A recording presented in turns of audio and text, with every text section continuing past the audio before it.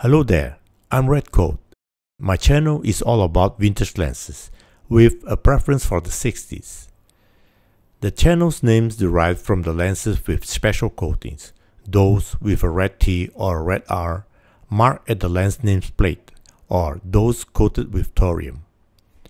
I introduce each lens brief history, its optical design, bokeh and flare, saturation, aberration, sharpness, and vibrance, all without post-processing. The Dehancer, a film emulation plugin for editing software that covers different video or photography platforms, offered me to collaborate within. It seems contradictory to me when I introduce you to pictures from those vintage lenses without any post-processing, and now I am grading it with the Dehancer. But it is not, and why? The picture in RAW format. You evaluate the lens, then you may go further. In collaboration with Dehancer, I took the three of rehoused KMZ lenses, the Mir 1B, Helios 44-2 and Jupiter 9. The camera was my BMPCC6 recorded in RAW format. I started recording before the golden hour until the blue hour. My system is an Apple M1 Max with 64GB memory, Ventura 13.5 and editing software is DaVinci Resolve version 18.6. Once the Dehancer is installed in your system, at the project settings, master settings, time resolution choose 1920 x 180 for editing, and color management to Color Science DaVinci YRGB. Enable the Use Separate Color Space and Gamma. Timeline to Color Space REC 709 Gamma, and the output color space to same as timeline. There are three simple ways to apply the plugin. At the editing panel, you can use an adjustment clip to apply the effect over video 1, or make a compound clip and apply the plugin, or at the color tab by nodes. For the present review tutorial, I feel more comfortable working on this plugin under the color tab. Under the library menu, you scroll the menu down until you see Dehancer. Here you see three nodes. The first node is the raw footage, the second is the primary balance, and the last is Dehancer.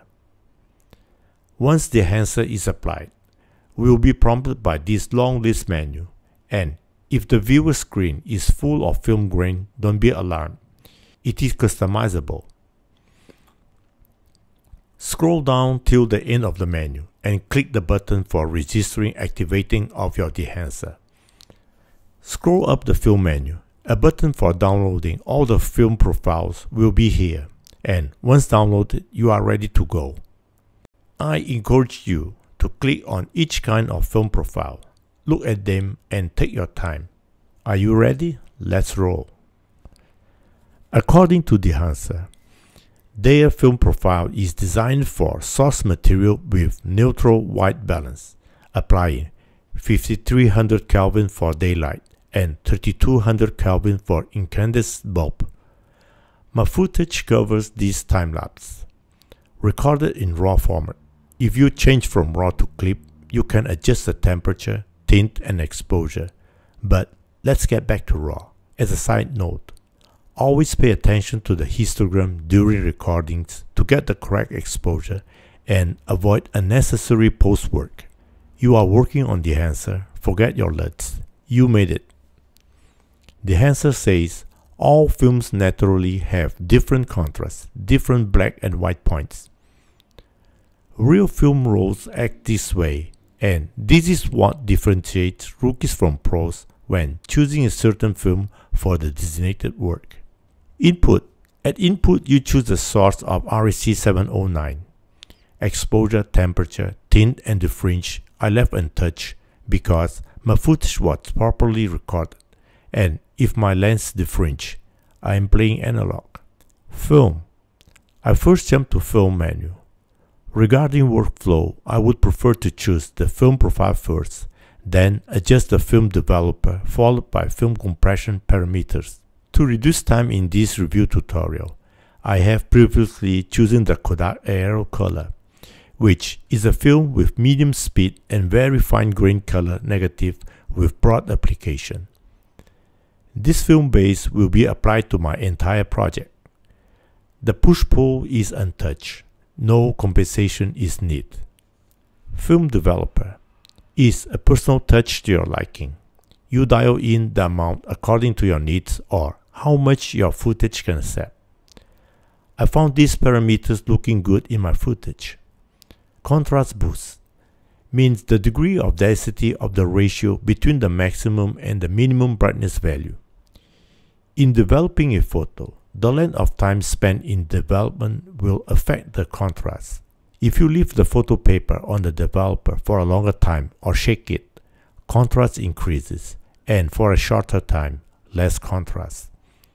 Gamma is a measurement of development contrast, but in this case, gamma correction parameter shift the midtones towards shadows or highlights. Film compression. The Dehancer allows you to fine-tune the redistribution of highlights providing more flexibility for further manipulation with exposure and contrast. Impact.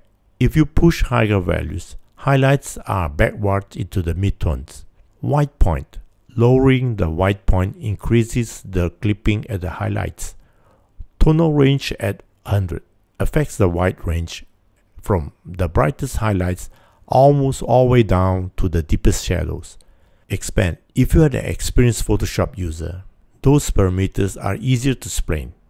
Think of the raw correction menu, where black point you are lifting up the shadows and white point decreasing the highlights. My numbers are minus 2.58 and 99.3. Print and color head. I'm skipping those because I'm working on video editing software, but it comes in handy too if you don't own any photography editing software and you need that frame photo for reference. Film. The photographer thinks first before purchasing. In this simulation, looking convincing or not really depends on the size, amount, and resolution applied to the footage. The Dehancer has put so much effort into sampling each film profile, providing three versions of ISO 50, 250, and 500. To customize the size, amount, resolution, and other parameters, you first select the film size and approximate ISO and after select custom mode. When you find adjust the 7 parameters here, I recommend always paying extra attention to the scopes. Your eyes may not perceive the subtle change or your monitor resolution may not show exactly these changes, but your scopes indicate it. And when the values applied are elevated, notice your scopes it's likely apply a dissolve blending mode in your scopes. I am using a positive film type as the grain the highlights is softer and less pronounced, and negative is just the inversion. Halation and bloom. I explain in the next session. Film damage. The smaller the film format, artifacts appear with more frequency and in bigger size. Film breath can be the instability of a camera shutter, uneven emulsion coatings, or its development which affects the exposure, color, and contrast. The smaller the film format is, the more obvious the effect. It's a super analog feel. I love it. Gate weave. For short, a film jittering caused by irregularities of a roll of film when travels through the film gate. I love this analog effect too and I apply it in conjunction with film breath. LUT generator. All previous parameter settings will be kept without film damage. I'm exporting the LUT in normal size and here's the Dehancer REC709 Kodak Aerocolor. And now let's compare them.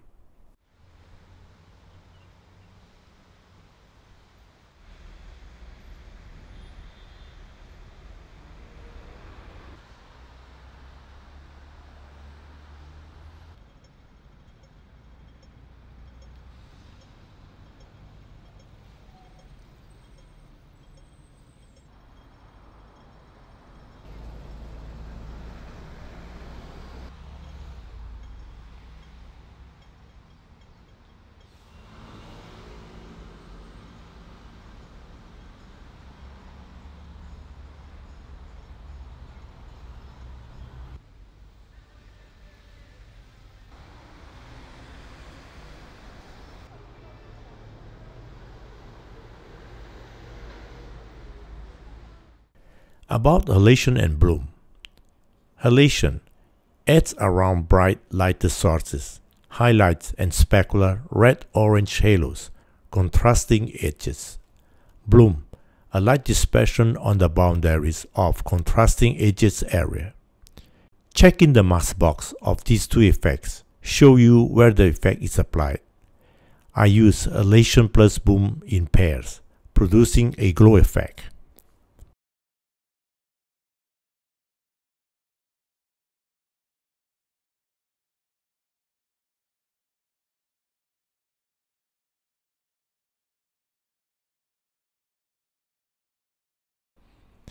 My conclusions about Dehancer. Dehancer is an open source standard for 2D visual effects, not to be used in Fusion. Their film profiles were sampled with their characteristics, making a convincing simulation. With a rule of film for photography, can't make scene. Now you do. When I was 18, at secondary, I was introduced by my teacher to black and white photography, developing photos by myself in the darkroom facility of the school. Later, Fujicolor 100 and Kodak Ektar 100 came into my possession because I just could afford them, and for once, Agfa Agfacolor 100. Green for Fuji, yellow for Kodak, and Ilford for Never because at the time it was expensive. Buying a roll of film and then developing it was not a hobby for a student. Plus, if the shots were wrong exposed or defocused, a bigger disappointment was. Photography was not easy, requiring you, if that shot was worth it, the exposure and focusing right. For each photograph had to pay the price. But now with Dehancer, without purchasing in real, famous film bases are under my single click. I have chosen the Kodak Aerocolor, knowing its characteristics, expensive and only sold in bulk, and is totally customizable. My workflow to Dehancer is as simple as can be. At the primary balance, I made an expansion of the tonal range with plenty of red room to highlights and shadows, as you normally do when applying a LUT avoiding a boom to the floor and ceiling. Dehancer acts differently, providing headroom for later grading. Sharpness was not applied to my footage. What my lenses captured was captured. Have you ever seen any analog photos with very sharp details like digital ones? That's not convincing. For halation and bloom, you get the best results if you are shooting for that purpose, like my LH lens flare. A touch of glow. And they work till the blue hour. What the Dehancer needs to correct is the annoying menu auto-expanding. Each time I get back to Dehancer, each menu is auto-expanded. Relocate the film menu first, then the film developer followed by film compression and the workflow will be smoother. If Dehancer could add light leaks, film head, and film burn will be nice. And for last, another plugin covering analog lens flare and lens bokeh from the famous Meyers, Pentax, and Zeiss B Speeds.